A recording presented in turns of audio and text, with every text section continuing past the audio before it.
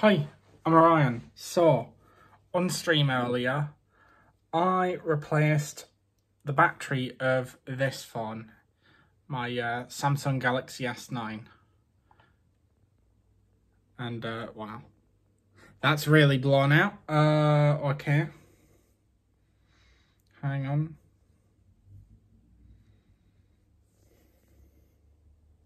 There we go. That looks better, but I I've been trying to run a uh, very high quality video um, so that I can calibrate the battery because I replaced the battery in this thing.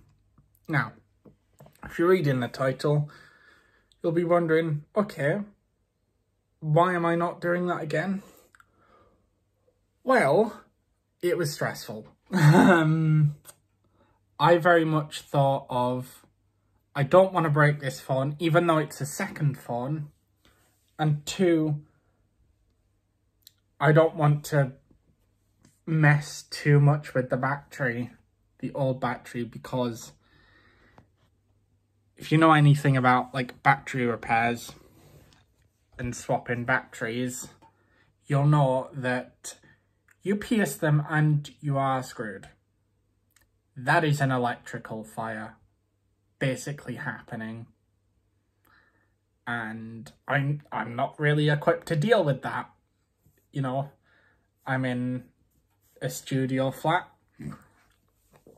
Uh, you know, I'm not equipped to deal with that, and I don't have a bucket of sand. That wasn't a Saba reference. Uh, you know, Eurovision uh, for Denmark this year hate being a Eurovision fan this year, but anyway. Um, essentially, yeah, trying to ensure that I can do it well and not fuck it up. I was thinking way too much. And bear, bear in mind, this is my second phone, my backup phone. So, I was struggling. Um, I need to pee really bad, I can't lie. So I'm gonna have to say what I need to say. Um, but yeah, and putting it back together, what a pain in the ass. Um, I couldn't get all the adhesive off from uh, previous, so I just kind of left it on and then put more adhesive on and uh, now it does now it's just not closed properly um, which probably means it's not water resistant. There are very much gaps around, you can't see it, but there's, yeah, actually, yeah, you can see it. There's gaps. And so overall fit and finish is my fault. Um, but actually partially I fix it because their adhesive, the instruction, they didn't have instructions, like proper instructions for the adhesive and what instructions there were weren't great.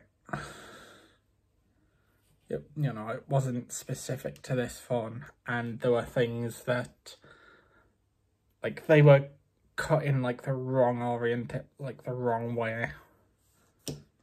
So, yeah.